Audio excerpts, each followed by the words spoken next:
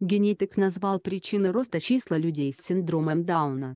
Генетик назвал причины роста числа людей с синдромом Дауна 1440 16 августа 2019 года. Обновлено. 15-13 16 августа 2019 года. Photolia, Capifruta. Работает с микроскопом.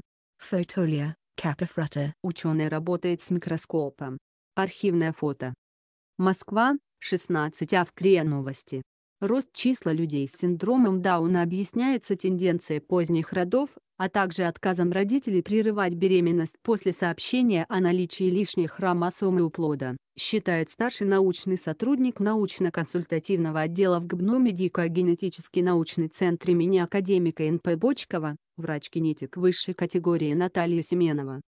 Как следует из статистических данных Минздрава, число людей с синдромом Дауна увеличилось в России примерно на 30% за последние пять лет. Сейчас зарегистрировано около 19 тысяч пациентов. 23 мая, 18 двоеточие 26 РИА Новости. Ученые открыли ген, который поможет вылечить болезнь Дауна. Возможный рост количества пациентов можно объяснить двумя общемировыми тенденциями. Первое – это повышение возраста матерей.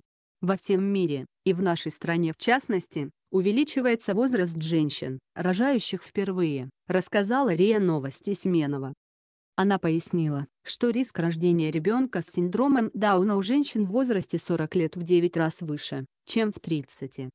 Кроме того, вторая общемировая тенденция – это отказ родителей прерывать беременность если у плода диагностирован синдром Дауна, отметила Семенова.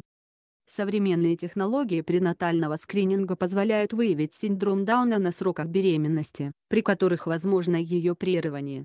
Такие программы пренатального скрининга входят в стандарты обследования беременных в большинстве развитых стран, включая Россию.